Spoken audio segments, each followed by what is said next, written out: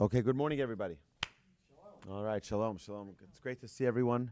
Start our week with a uh, with a fire. I'm excited about this, um, and uh, welcome to the new 11 o'clock slot uh, that we've been we've been reshuffled into. And uh, okay, we spoke. We started last time we met. We started speaking about happiness, and happiness is a very important uh, trait that we're all looking for because there's no human being in the world who doesn't desire happiness, right? Even people who are sadistic or are, are uh, masochists are people who that's the way they derive their joy, their happiness. It's a little sad, but uh, but we're all looking for happiness. We're all looking for a way to, to feel this joy, this. And if you look at the entire world and everything that we have going on around us, whether it's the iPhones, whether it's movies, whether it's uh, uh, hair products, everything is with the attempt to make your life happy and to make your life good. So, how do we attain this? And one of the things we mentioned last time is that happiness is a state of mind. Happiness is not a destination. You don't arrive one day at happiness and say, "Oh, I've arrived. I'm at happiness." Right? No, it's a frame of mind. It's it it needs to be a way with which we live our lives, not a destination that we arrive to suddenly one day. I'm at happiness. Another thing that we have to know about happiness is that happiness is not an external ingredient, it's an internal ingredient. Happiness isn't something that you know you can acquire with external means, not with money, not with actual objects. Happiness has to come within, and we're going to learn about how to how to uh, attain that. So, one of the important things that people many times mistake is that they think that happiness and laughter are the same thing, right? And one of the things we disclosed uh, la- previously was that happiness, laughter, and comedy are very, very different things, right? Happiness, uh, you know, even even, you know, someone could be a little bit down. That doesn't mean they're not happy.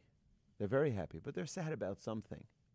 Right? They can be a very happy person, but you can be right. You can shed tears of joy, right? You get you get emotional about an, a specific experience. Your child graduated college, something special, and a special event, and it brings tears. That that's fine. That doesn't mean you're sad. Oh, don't be sad. No, no, it's fine. Right? You can be completely filled with happiness, notwithstanding you know, an emotion that you have. Right? Um, okay, so now, happiness can only come from internal observation and not external means. So, an external object, you buy your new iPhone, that's not going to make you happy. Right? It's not going to make you happy. It might cover up some of your sadness, but it's not going to make you happy. Okay? Shopping doesn't satisfy or fulfill a person or bring about happiness and someone else's decline is a very important thing. Many times people think if that person wasn't in my way, I'd be happier. Right? Someone else's decline will never raise you up. Right? Standing on someone else's shoulders won't make you happy. It, it, it, so you have you have a competition. You op- you have a coffee a coffee shop, and the guy opens up a coffee shop right next door to you and you have this hatred, you have this disdain for this person. I can't believe he someone would do such a thing, right? So you want to put him out of business. That's not going to make you happy. That's not going to help you. You know, it, it's interesting because just as a very side note, our sages tell us that don't speak to a person about his competitor. Don't speak to a person about his competitor because nothing positive will ever come from it. Right? No one has anything nice to say about their competitor. It's very rare that you'll find someone who'll say, you know what, go support my competitor. He's a, he's a nice guy, right? He's, he's a good guy. It's very rare that you'll hear that. It's like we have a better product, right? We take care of our customers better, right? And it's a good thing to have competition. Don't get me wrong. It's a good thing to have competition, not only I- I for our economy and for uh, capitalism, but also the most important time that competition is not only praised is when it comes but but warranted is when it comes to Torah study or spirituality. So imagine here we have a synagogue here, a pretty successful big synagogue that we're, we're, we're learning at right now. Imagine there was a new synagogue open up right next door. Right? Say, hey, you know, it's, you can file a lawsuit for infringement. You can you know, you can have all these all these, and you know what? In Jewish court, it'd be thrown out on its face. You know why? Because the Mishnah specifically tells you. It says that kinat sofrim tarbeh chokhmah, the jealousy, the competition of study, only adds wisdom. So if you want to open up a school next door to another school, go for it. You know why? Because we're going to compete. And I'm going to want to have a better school than your school. And you know what's going to be the result of me having a better school? The children will benefit more. The students benefit more. So what happens is is that when you do have that competition, the result is more Torah study, more learning, better education. And that is always a better thing. Um, so someone else's decline won't raise you up. Trying to knock the other person off their feet will not elevate you, and you won't find any happiness from it. And then the last part of things that don't come from external is substance uh, abuse or drinking, things like that. When people take external things to try to fill their or cover their void, it doesn't help them. So, for example, someone has a uh, someone's sad, right? So I'm going to take a few shots now, and then I'll be happy. No, that's not going to do it. Right? A few shots of alcohol is not going to change your happiness. Neither is any type of drug or any type of uh, uh, external substance that a person uses tries to right. It may alleviate the pain that you have, but it's certainly not going to make you happy. Yes. Could you use? con- You know, by the way, I, I love when people ask questions because then I can drink my oh, coffee. So I have a question ask. Mm-hmm. Would, could you use contentment as a synonym? Is, is it, please rephrase your question. is contentment the same as happiness? Being content with what you have? Okay. Yes. And we'll see it right away. What, we, what we'll see in, in our prayers that we have exactly that as part of our key to happiness. Okay? You'll see, you'll see that constantly. Okay, now, we, we mentioned last week that um, uh, the United States Declaration of Independence has that one of our rights is life, liberty, and the pursuit of happiness. So the pursuit of happiness seems to mean that you pursue it and one day you'll attain it, right? But that's against the principle we're talking about. Because you don't arrive one day at happiness. Right? Happiness needs to be it would should start off you have a right to be happy. Eh, Right, but but but happiness is not a pursuit. Happiness is the essence. Either you are or you aren't. You don't pursue it. Okay, so I, I'm not. I'm not telling them to change the Declaration of Independence. what I'm, but, but what I'm, what I'm trying to say is that we shouldn't be confused that one day we arrive at it, because we don't. Christ says the pursuit of happiness. It doesn't say that you're, you're, you're, you're, guar- you're guaranteed the right to be happy, but you're the guaran- you're guaranteed the right to try. I- I'm I'm just playing with the with the with the uh, with the uh, with the with the nuance exactly. It's not we. It's happiness is not something you pursue. It's a state of mind. Exactly. Right. Sure. I don't have competitors. No, I don't. No. This is the late and great Rabbi Radinsky. Sure. He used to, uh, may he rest in peace, he used to say, talk exactly what you're talking about, what the Constitution says. He used to say, it should be, it should read life, liberty, and the pursuit of mitzvot. There you go. That's, he says, because only through that Happiness. Excellent. Thank you. He's not a competitor. I love him so much. I love him so much, and uh, I, I really don't. I I honestly I honestly believe that I don't have co- competition, and the reason I don't is because anybody who's teaching Torah, right? We're in the same game. We're on the same team. We really are. Yes. No, it's not the same, but it can it, it, it it makes it much easier to be happy when you're content with what you have.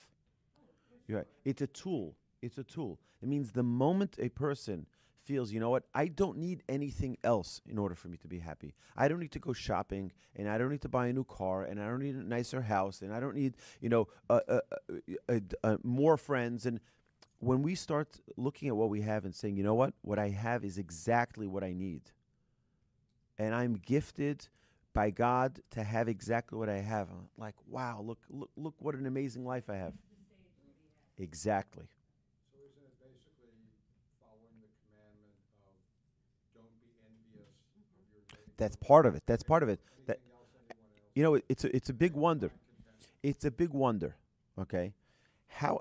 I mean, Ten Commandments. You're giving Ten Commandments to the Jewish people, which our sages tell us all 613 commandments that the Jewish people were commanded with through the Torah are narrowed down to the Ten Commandments, and all the Ten Commandments down to the one first commandment, I am Hashem your God, and all of the first commandment down to the first word, Anochi, I am, and then the first, all of the mitzvahs boil down to the first letter. And it was like, I mean, come on. I mean, and this is commentaries. If you look at the Ten Commandments, we'll be there in a few weeks, right? And when we read Parshas Yisro, um, the portion of Yisro, we'll find that that's we read the Ten Commandments, and like, you imagine, like this is what you're telling the people forever. This is the this is the code you need for life.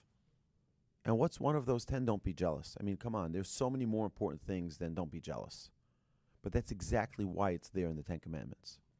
To tell you if you want ha- true happiness, which the Torah is the manual for happiness, the Torah is the manual for how to be a happy human being.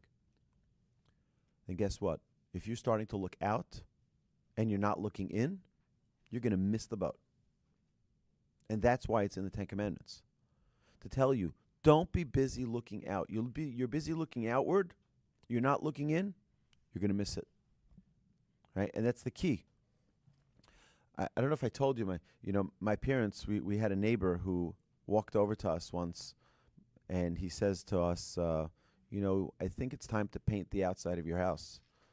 So my father said, you know, you're the one who looks at the outside of the house, right? And if you want it changed, you're welcome to paint it, right? right? We look outside of our house, we look inside our house, and we love it. Everything is it's it's beautiful. You know, it's like so. The, I think it's more of a principle. The principal idea is that one shouldn't be busy looking outside. We're looking inside. We're looking at our own at our own lives. Look at what we do have. Look at what we're gifted with. So it is said about one who is sad that God's presence, as the Talmud says, that one's that God's presence cannot reside among them. Someone who's sad, the presence of God. We all want to have God's assistance in our life. It, it it's a contradiction to have God in the same area, same uh, uh, vicinity as someone who is sad. Yes. What if you have a legitimate reason to be sad, like uh, you've lost your job or you've lost a loved one? So it's all. It first says it's a perspective. We have to understand that it's perspective. Um, I'll tell you a story. I had a guy who called me up. I don't know if I mentioned this story. If I did, please excuse me. Um, I, I literally taught 25 classes last week, and I have no idea what I said in each one of them. So, so recently I said the story. I don't know where. So if I said it here, please excuse me.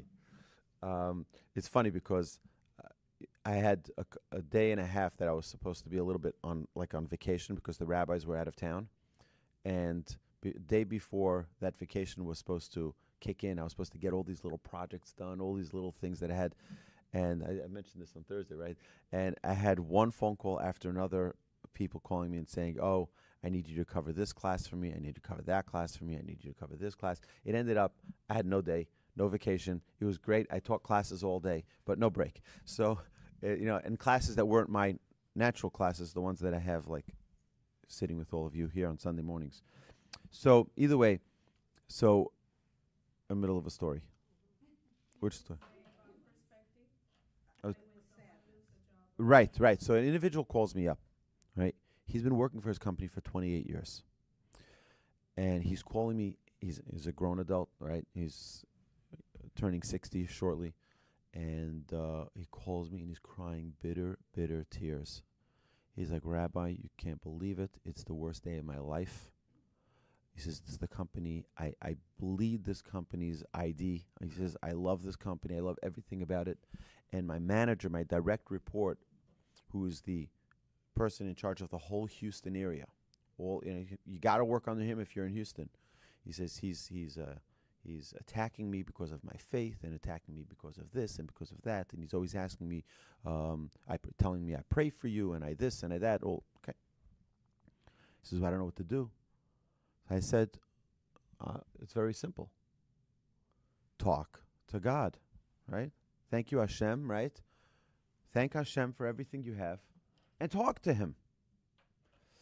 See, he says, well, what what can He do?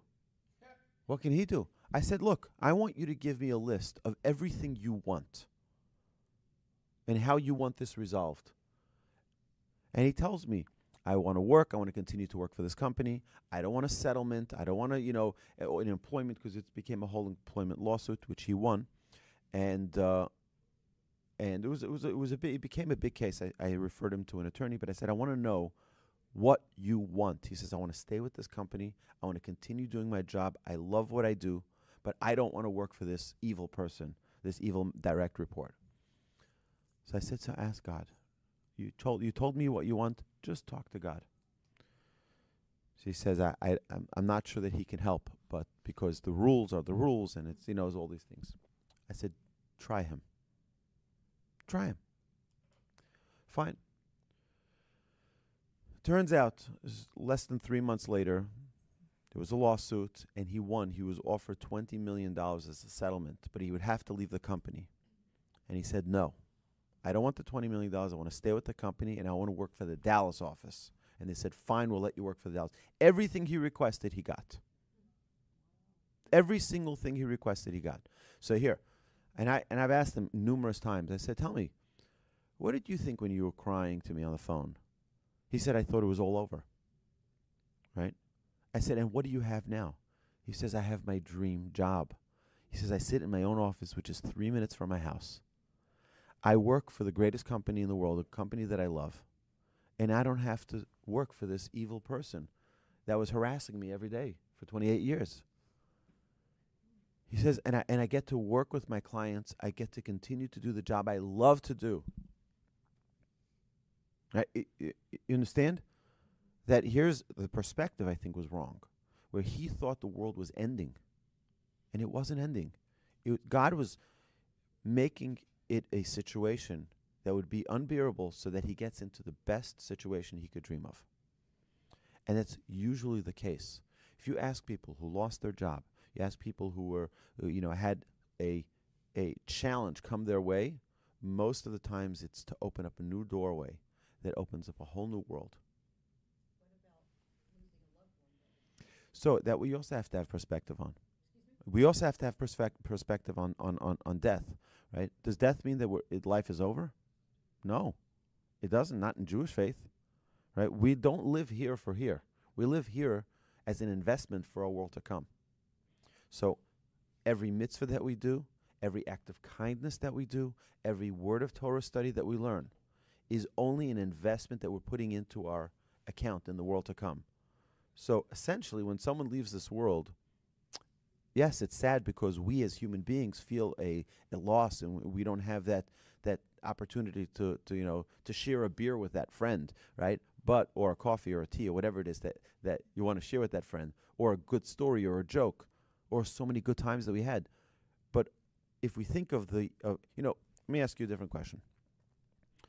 So Lily, if I ask you, what are you? What are you? What are you?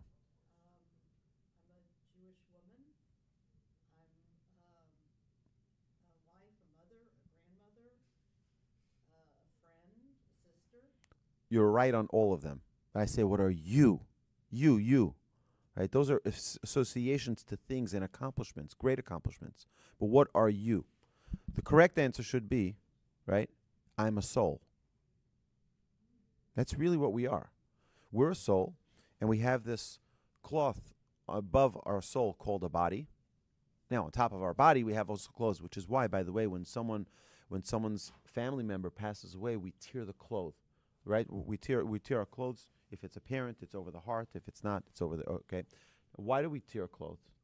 Because what we're saying essentially is that the body is what's gone. The soul is still there, but the body is clothes for the soul. So just like the body is the only thing that that is gone, but the soul is not. The soul lives on.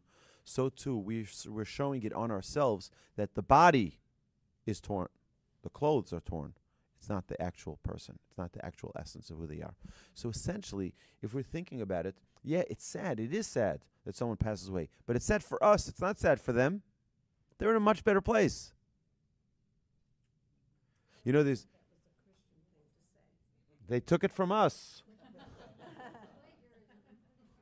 yes. Then how do you, what is your interpretation then on suffering, needless suffering? What's what's needless?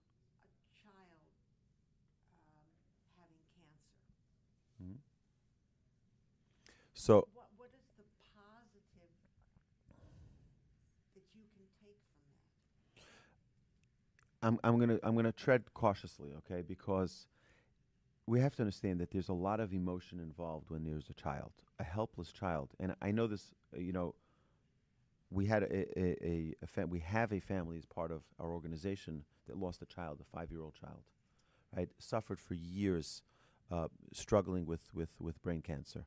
So this was very close to home, and this is something that we we you know as a as a family, as a torch family, uh, really, really struggled. Every day I'd go, I'd go uh, pick up breakfast and go to the hospital and, and sit with uh, with the rabbi, and be with be with the, with his son. So it's it's it's very challenging. What do you mean? What did this kid do wrong? He did nothing wrong. That's true. But our sages tell us that the only people who suffer at a young age are people who their soul was so perfect they needed one small adjustment. I'll tell you a story to, to, to really make this bring this home. There's a great sage, a great Hasidic master. This is totally not on a topic, but it'll help us understand. There's a great Hasidic master who wakes up early one morning. It's a snowy morning in, in you know Eastern Europe, and he wakes up his students. He says, "Quickly, quickly! I need I need you. I need you to come with me." And he gets uh, eight other students and himself, and he puts them on the wagon. He tells the wagon driver, "Let's go, let's go. We got to go." And he goes to the to the to like the last house at the end of the town right? It's really far from where he was. He goes all the way to the last house and he tells the wagon driver, Stop, stop right here. They all get out. It's early in the morning and he knocks on the door of the Rebbe and uh, he sees a man there at the door, opens up. He says, Is the baby ready? Is the baby here? Yeah, the baby's here. And the students are like, what, What's going on here? Like they had no idea what was going on. And the Rebbe says, Quickly, quickly, let's let's let's let's have the bris. And like, how did he, the Rebbe even know that today's the eighth day? There's not like there's a news report or you get a, excuse me, you get a text message from the synagogue saying congratulations to the uh, the Goldstein family on the birth of a baby. Well, how did the Rebbe even know this? And he, they quickly they they do the bris, and they have a quick meal that you do after the bris. And as they're about to walk out, the husband says, one second, he hears a cry from the other room. The mother's crying, and the the husband goes to the other room and he comes back and he says the baby died and the rebbe goes mazel tov mazel tov mazel tov. And now the students are completely confused. They have no idea what's going on over here. What, what, what's this what's the celebration? What's going on? So the rebbe tells the students he says listen he says last night i had a dream. And the great sage the rashash now the rashash is one of the great commentators on the talmud. He passed away on the later commentators on the Talmud, and he was he was a very very wealthy man. He helped pay for the for the publication of the Talmud, the mass publication of the Talmud, and his commentary was printed actually I- on each page of the Talmud, right? Now you're talking about a serious commentator, a serious, serious scholar, and he had died just a few days earlier. And when he was at the heavenly courts, they said, "You know what? You're you're perfect, except for one blemish that you have." one blemish that your soul had, and that is that you didn't have a bris on the eighth day. And he, this, this is the Rashash himself talking to this great Rebbe, this great master, and he says to him, This baby in this house is me. It's my soul that's coming back to have the bris on the eighth day. Please go early in the morning. Give me my bris so that I can get my place in heaven. That's the one little correction I need t- for the perfection of my soul. He says, I'm begging you, get a minyan out there. Give me that bris that I need so that I can have my perfection in the world to come. And so the Rebbe was happy that as soon as the bris was over and they finished the meal, now the baby's soul can be restored to its proper place. So he's saying, Mazel tov, Mazel tov, not that the baby died, God forbid, but that the soul was now restored to its proper place. We have to understand the whole idea of life. Why are we really here? Why are we here? Every person, and this is why the study of Musar is so important, is because we're here for a very specific purpose of accomplishing and perfecting our soul's job, everyone's task. Um, there was a quote that was sent to me today. Give me a quick second. It was sent to me in one of my chats that I was on this morning, and it was said it was really a, a, a profound statement. It says that everybody. Give me a second here. Where was it? Here we go. Life is the most difficult exam. Most people fail because they're trying to copy others, not recognize that everyone has a different test. Right? Every single human being on planet Earth has a different test. And the thing is, we're saying, oh, looks like this guy's got a good life and he's got his Rolls Royce. Why can't I have a Rolls Royce? And we're trying to copy other people, right? But we have a different test. Everyone has a unique test. We have to know our own character. We have to know our own our own uh, qualities, our own flaws, and everyone has a different setup. That's why traits in Hebrew are called midot. Midot. And midah is a measurement. It's also the same word for measurement. Midot is plural for midah. Now, what does that have to do with character traits? Why would you use the word measurement for character traits? So imagine this. Imagine you walk into a into a science lab. Now, science lab, you look and you see. I, I remember when I used to walk in in high school, you used to see like you have all of these uh, tubes, and they have different colors of different uh, uh, different uh, um, uh, chemicals, yellow and a purple and an orange and a green and a blue, and you're like, you know, what what's what are, what are all these things? So imagine that that lab and all of those different chemicals and the different measurements is every single one of us. And every single one of us has a different measurement. This one has a little bit more of anger. This one has a little bit more of patience. This one has a little bit less of jealousy. This one has a little bit less of, you know, that's the way each and every one of us, there are no two human beings who are exactly the same. It says, "Kishem shepartzufeim shonim kach deoseim shonim." Just as our faces are different, our opinions are different. Our challenges are different. Our construct is different. Everything about us is different. Sure. I saw a quote, and I'll never forget this. It was written in an elementary school. The teacher had put it on the board. And it just said, be yourself, everyone else is taken. There you go. There you go. Beautiful. Thank you. Right? That's right.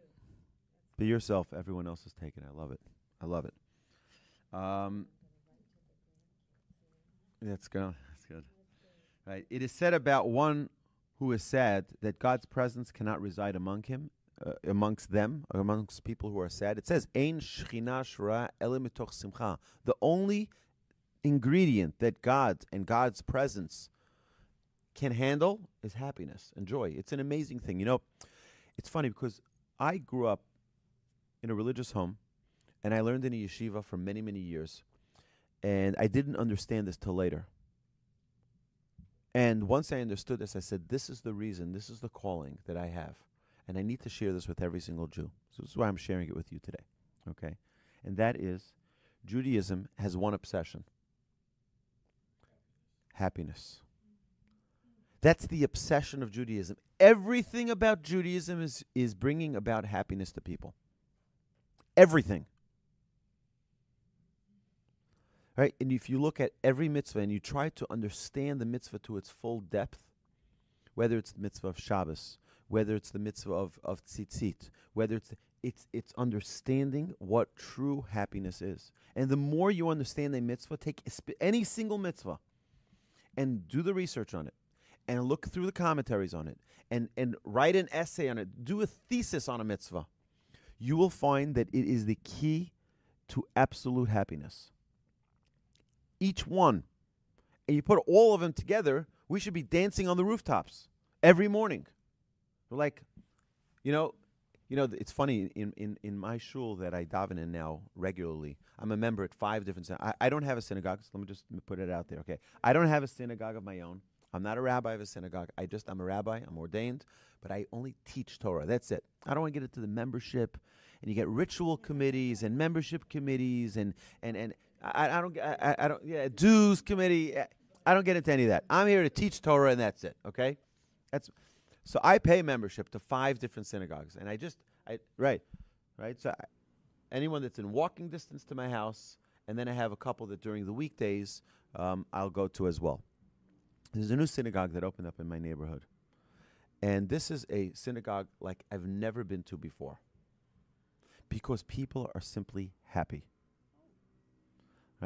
You come in, and there's singing, and there's dancing, and there's good food, and it's just it's just a great joy to be in the synagogue. It really is. It's a it's such a it's such a, a, a an exciting place to be in. It really is an exciting place. There's so much energy. And I don't remember what my point was now, but I was trying to get to something. But happiness. But oh, so, so right, right. everything about Judaism, and that's and that's the thing. How many synagogues have I been to where everything's about new, new, shh, shh, right? And people are shushing each other, and people are just like, and it's like, huh, hello, just be happy, come on, right? Have some joy, have some, have some excitement. And the problem is that many, many times, so I was telling you that when I, when I grew up, I didn't understand this. I don't know if it was explained to me, and because of my ADD, I didn't hear it. Right? It's possible that I just didn't hear it, but I didn't understand that it's all about happiness. And once I understood it, I was like, this is the greatest thing in the world. I mean, there isn't a single mitzvah. And you can think, oh, it's so restrictive. I can't understand. Why would the Torah be, you know, the laws of kosher so restrictive? The laws of Shabbos, I can't do this, I can't do that. That's one way to look at it, the wrong way to look at it. But you can look at it at every single mitzvah being an opportunity for happiness. And if that's the perspective you'll have, you will be the most excited, joyous, celebrative human being on earth. Right? You will have every single minute of your life with happiness. And that's that's essentially what God wants us to be. To the point where God says, if someone is not happy, my presence can't reside in their midst. I can't. God can't be there. So why would God give us commandments that would make us unhappy? If his presence can't even reside there. Okay? Yes.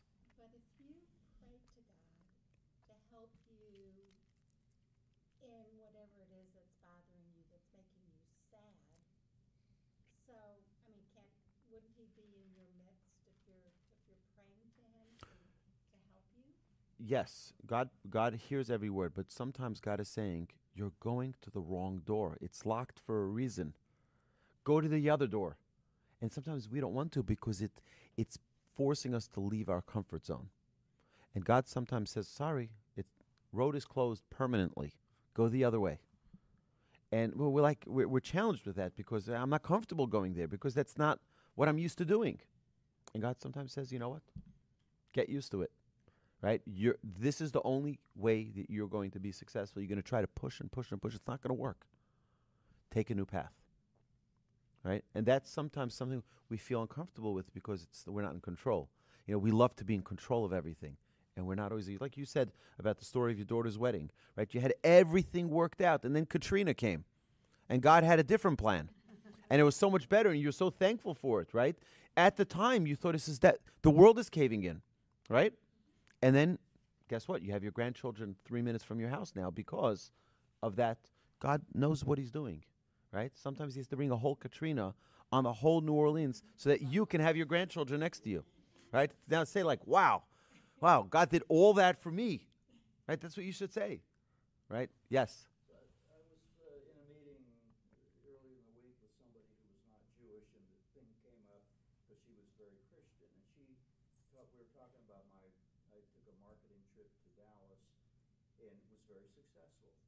And uh, so she said, "Well, do you pray for that in Judaism?" And I said, "Well, in my opinion, I don't.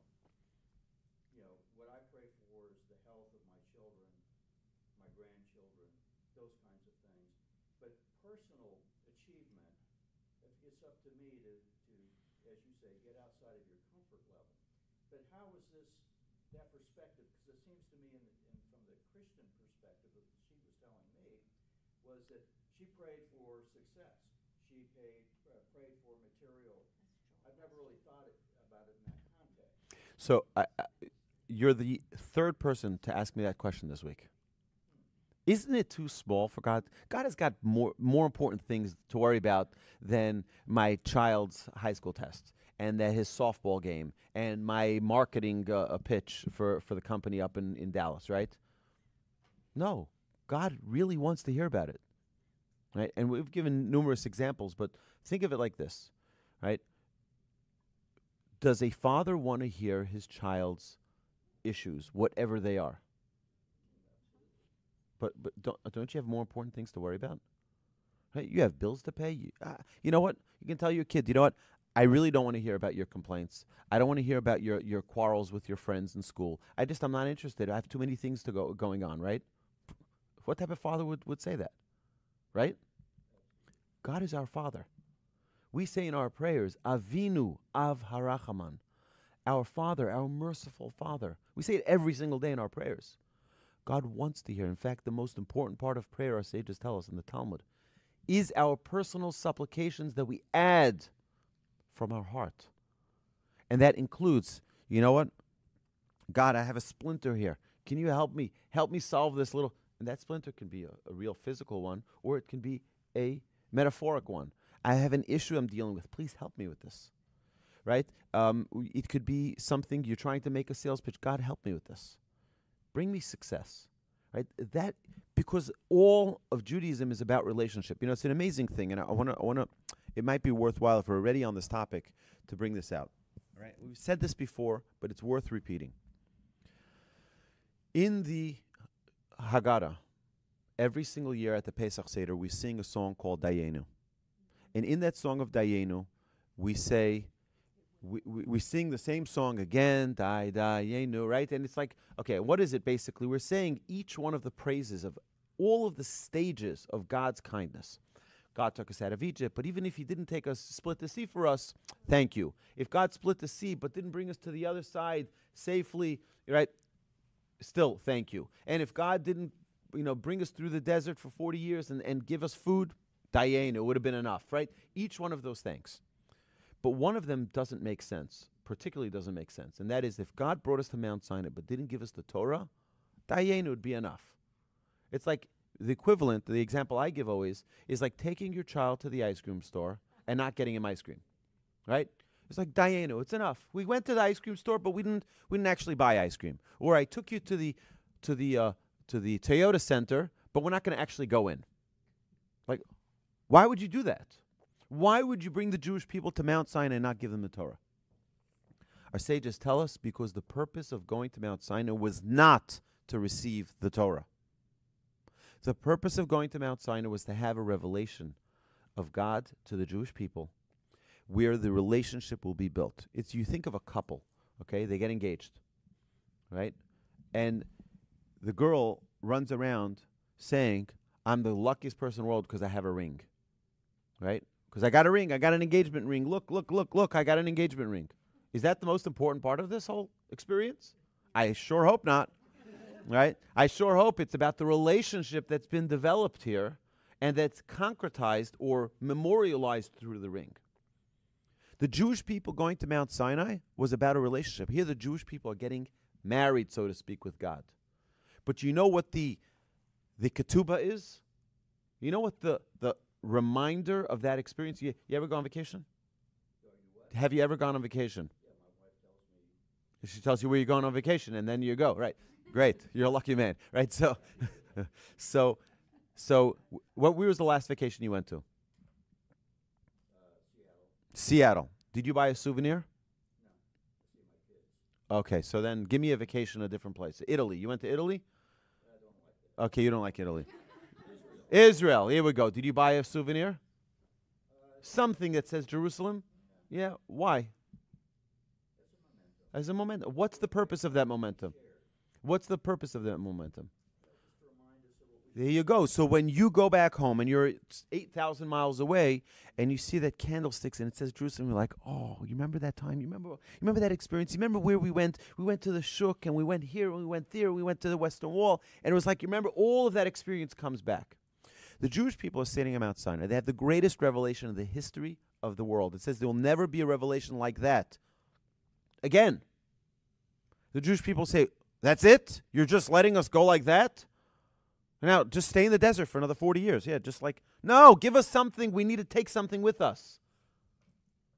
Right? Give us something that we, God says, you know what?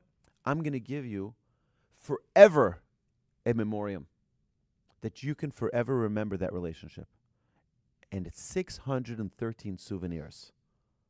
The 613 commandments that we have are 613 souvenirs. Every time you walk into your house and you kiss that mezuzah, you know what it has the potential if we have the right ideas and we understand the purpose of the mitzvah? Every time you touch that mezuzah and you give it a kiss, without the kiss even. I remember I had a rabbi in yeshiva. He would put his hand on the mezuzah and he'd stop. And then he'd walk into the room. Every time he'd bring himself to the. I stood at Mount Sinai, and this is the gift that God gave me that mezuzah that I have on my doors, the reminder that God took us out of Egypt he built a relationship with us in the desert. And this is the reminder. Every time I walk into the house, I remember God is loves me. He's he's my father in heaven. He's waiting to hear from me. I actually had a mezuzah. I remember when I when I used to work in the building of the Braze Oaks Towers. So we had a mezuzah outside our office. So uh, an African American woman was working opposite our office and she says to me, she says, every time I leave my office, I see that, that thing on the on the doorpost. What is it? I said, oh, it's a Jewish security system. so she says, how can I get one? So you had to be at Mount Sinai, right? So no, so it's it, it was really it, it's but but that's the idea is that God says, I'm there to protect your your houses. I'm there to show you. I'm always around. I'm always around. Right? So I can look at a mezuzah and say, oh, this is another way the rabbis are going to gouge me here. They're going to get me here for another 40 bucks on a mezuzah, right? Uh, there we go. Like, yeah, we know the rabbis are rolling in dough, right? We know that, right? Right? So, th- no, that's not the idea. The idea is that someone's got to work hard to write the scroll properly. And I would I recommend, by the way, that if you have a mezuzah, get it checked. Because I've had people bring me mezuzahs and it was just, they bought it in some gift shop in Tel Aviv and Turns out it was a piece of paper. It wasn't even it wasn't even a mezuzah. Right? So you got the mezuzah case doesn't mean anything. You can have a mezuzah without the case. It's the parchment inside that has the portions from the Torah. That's the most important part of a mezuzah. But that's just one mitzvah. We have so many mitzvahs that each one is an opportunity to bring us back to that revelation, to that reminder. So, like you have that Jerusalem, you know, uh, souvenir, you can have a, a magnet. You know, you look at the magnet, you're like, oh, you remember we went to the Grand Canyon, and you remember we went to Yellowstone National Park, and you bring back all of the memories that, guess what? Every single mitzvah in the Torah has the ability to bring back that recollection of Mount Sinai and that relationship. And that is the purpose of them. We think we went to Mount Sinai to get the Torah. Wrong. We went to Mount. That's why Judaism's not a religion. Judaism's a relationship. It's all about the relationship. And the more the relationship is is real, the more we ask and, and we should ask for all of our personal things. God's got plenty of time for you. He loves you. Cares about you. He wants to hear every single little detail, every worry, every concern, right? That's what prayer is for. Many people think. I had a guy after one of my classes on Saturday uh, he says, I said, so I encourage everyone, let's go, let's go join the congregation. He says to me, Rabbi, prayer is not for me. I said, why not? He says, I'm, I'm done with prayer. I said, come, come, have a seat. I want to hear this. Okay, so he sits down. He says to me, you know, for years I've been coming to synagogue every Saturday. And all I do all day, the whole time I'm in synagogue, is run after the chazan. I have no idea where he's holding, and page after page, I'm going back and forth. Oh, the, the chazan turned the page, and I'm going to the next page. I'm trying to follow with the right. He says, I have no idea what's going on. He says, I'm so frustrated. By the time prayer is over, I'm out of breath and I'm tired. I said, Well, that's not prayer. He said, What do you mean that's not prayer? Of course that's prayer. I said, No. I said, Prayer, you could be sitting in your car at the stop sign, at the red light, and talk to God. You're waiting online at the bank, talk to God. You're, you're, you're, at, you're at the library, talk to God. You're sitting in front of your computer, talk to God. Now, there's a reason why we pray in a synagogue, and that is because, you know, if I'm trying to convince you to do something for me, right? So if I come myself, you can say, nah, no, I don't think so. But if I come 10 people to ask you, right, you're like, okay, okay, I, I, I'm convinced. Okay, I got it, right? That's why we have a quorum. That's why we have a minyan. So we come, it's very persuasive. We all come together as a, right? And that's why we have the concept of a minyan. It says, ber- This fellow who comes in and he can't see where, where he's at, is it okay for him to come and, and, and daven, um, at his own pace? Absolutely. And in fact, he's told me, this was about seven, eight years ago.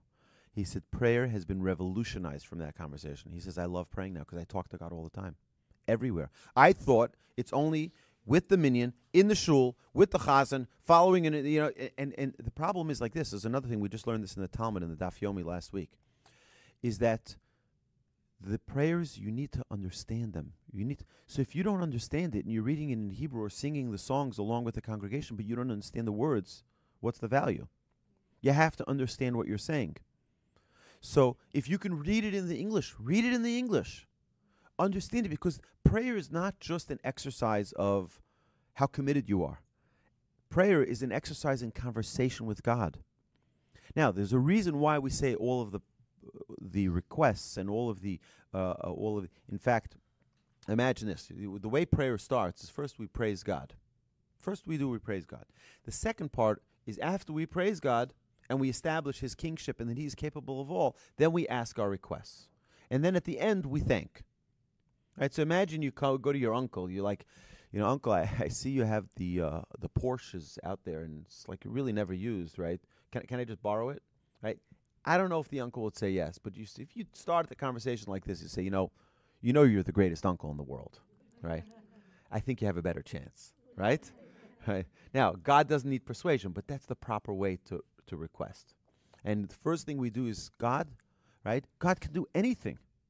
God, you're the master of everything. Every bird sings your praise. Every right, every animal sings your praise. Right? You're you're Hakol Yachol, you're capable of everything. Look at the amazing miracles you've done for the Jewish people. We talk about the exodus from Egypt in our prayers. Az Yashir Moshe, the song that the Jewish people sang at the at at the at the at the uh, where they where the sea split, and then we start saying Yishtabach Shimcha. Your name should be praised. And we talk about all that God brings the light and He brings the darkness, and we talk about all of the Yotzer Or, all of the creations of God.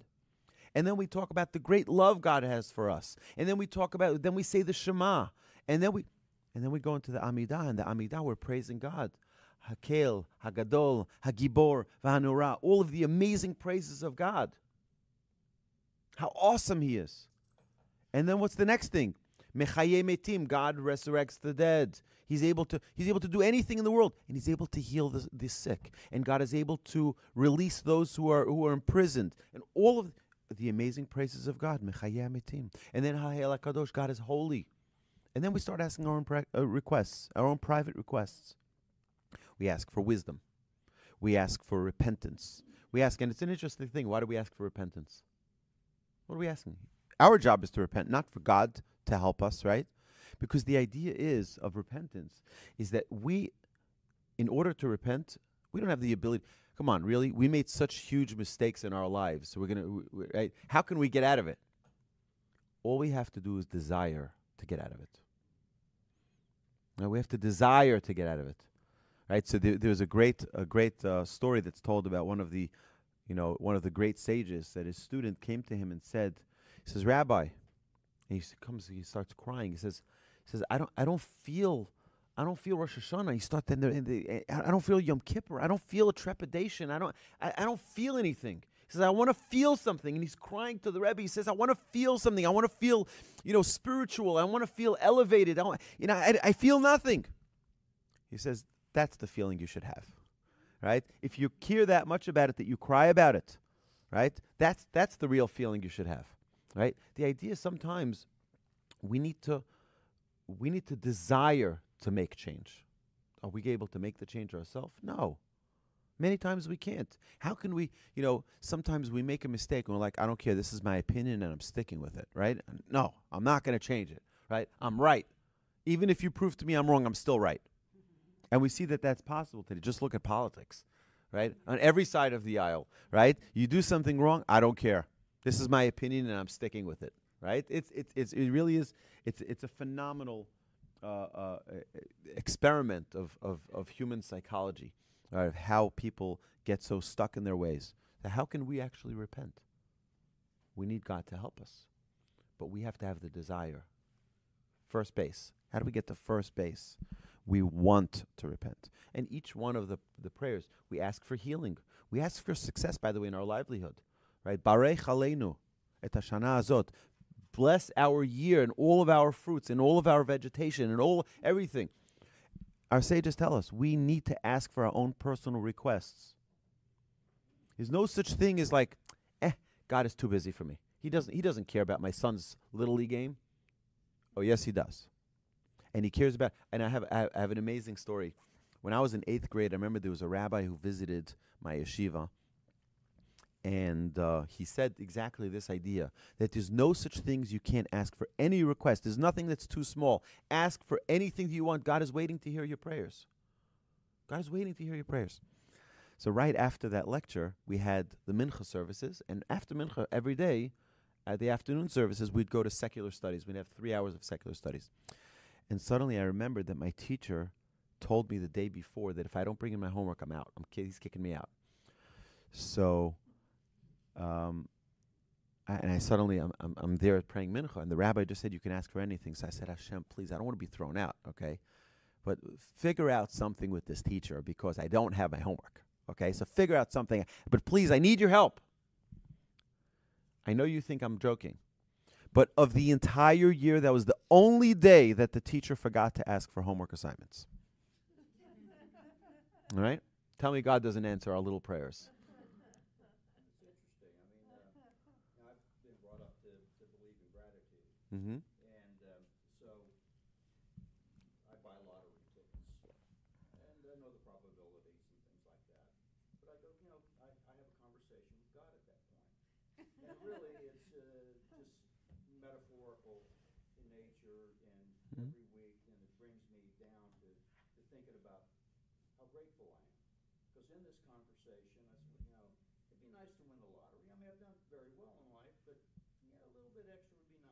Mm-hmm. And uh, so God comes back and says, Steve, you've won the lottery so many times, I couldn't possibly do it again. and then I walk out and I go, that's my gratification. I go home, my wife yells at me about buying lottery tickets that we never look at, but I'm a happy camper. There we go. So I'll tell you. Are there any billionaires in the room here? Any billionaires? So I, I, I, I beg to differ, and I hope that I ask the question again in three more minutes, and everyone raises their hand. Okay?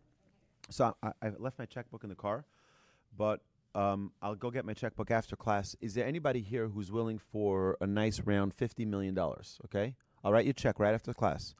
Okay, for me to just chop off your right hand. Right hand, you'll never have a right hand again. Right? You'll still have a left hand. And if you're a lefty, I'll cut the left hand and you'll have the right hand left, okay? Um, right hand, right? So, anybody here ready for $50 million? Going once? Anybody? Thinking about it, huh? Okay, so I'm going to up the ante because I don't have any takers here. How about for $500 million? That's a half a billion dollars. A half a billion dollars. That's your lottery ticket right there. I'll take off one leg, both arms. Okay, one one leg, both arms. Anybody for a half a billion dollars? And this is real cash, okay? Half a billion dollars. That's five hundred million dollars. You'll take it, really? Can you get the saw? It's in the back of my car. Okay. Yeah. I can buy new limbs. Yeah, yeah, I'm sure. What? He's not serious, right? right, exactly. Right? Anybody here? Okay, I I'm going to up it for a billion. Okay, but I'm I'm done here. Okay, a billion. Okay, really, I'm serious. Okay, I'll pop out one eye, one eye, just one eye. You'll have the other eye for good. Okay, it's good. Um, y'all pop out one eye, take off those two arms and leg. Anybody for a billion dollars? Okay, let me ask the question again. Any billionaires in the room? Absolutely. I offered you a billion dollars to get rid of your limbs, and you're not ready to give give them up. You're not ready. You know, there's actually a story told by Rab. You know what? It's worth more to have your limbs than to have a billion dollars. Okay? Be- yeah. Speaking for myself. So there's actually a story that's told. Rabbi Noach Weinberg says this. He says, Imagine you're standing on the seventh floor of the Empire State Building and gazing at the cityscape. Suddenly, a rather large man pushes past you and ed- gets to the window, opens the window, and announces his intention to jump. You, what do you yell? Stop! Stop! Stop! Don't jump! Don't do it! Right. So this six foot five figure turns around and says, "Try to stop me. I'll take you with me. I'll take you with me." So what do you say? Uh, um, okay, no problem. Sorry. Have a safe trip. Any last words? Anything you want to say? He says, um, "Let me tell you my troubles." He says, "My wife left me. My kids won't talk to me and I lost my job and my pet turtle died. He says, So I have nothing to live for. So the individual has suddenly has a flash of inspiration. He says, Sir, close your eyes. He says, For a minute, and imagine that you are blind. No colors, no sights, or children playing, no fields of flowers, no sunsets, nothing. Now imagine that suddenly there's a miracle. And after your blindness, you open your eyes and your vision is restored. Are you going to jump? Or are you going to stick around for a few weeks and enjoy some sights? He says, I guess I'll stay for a week. I'll stick around for a week. But what happened to all your troubles? I thought your troubles are so terrible you have to jump. Right? He says, Well, your eyesight is worth at least $5 million, right? So you're a rich man, right? If you really appreciate your eyesight, the other pains are insignificant. Now, we have, okay, but if you take it all for granted, then nothing in life will even truly give you joy. Okay? So if you take things for granted, you take your the ability that we have to walk, the ability that we have to talk, the ability that we have to to hear music, the ability that we have to see beautiful things, right? If we don't, you know, the ability we have to to eat delicious foods, to digest. You know, I was I was at a conference in uh, last year in March, and I remember this is I, this is one of those over the top con- Jewish conferences. You know, they, they they serve you food till you're like over, you know, overboard. And and I'm there. We're all before Shabbos. It was a whole weekend, a whole Shabbos, and there's every delicacy you can imagine, every delicacy you can imagine, and we are um, we're eating, and then I see that they this guy comes into the into the into the lobby, and he comes in with a wheelchair, and he has all of these pipes attached to him. He's got an oxygen tank behind him, and then right behind his wheelchair, a guy carries in an entire crate of oxygen tanks, so they should have enough oxygen for Shabbos. Now I'm thinking to myself, here I am stuffing my face like I haven't seen food in a thousand years, okay? And this guy, if he doesn't have those oxygen tanks, will be dead. You understand?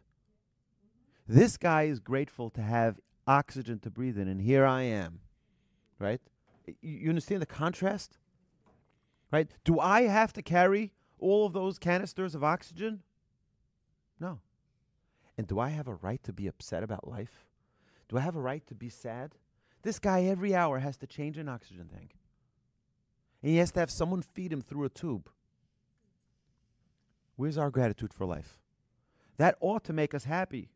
My rabbi said to me, he says, if you're ever depressed, go to a hospital, go visit some sick people, and you'll be very happy that you have life. Right? So w- we, we haven't gotten even like past first base in our class here, but we, we're going to get more next week, hopefully. But um, uh, God's presence cannot reside among those who are sad. So, my friends, have a wonderful week. Go be happy. Go enjoy life. And please, if you haven't signed in, please sign in. Please leave us your email so we can share with you about any scheduling changes if there are. Have a wonderful week, everybody, and looking forward to seeing you next week.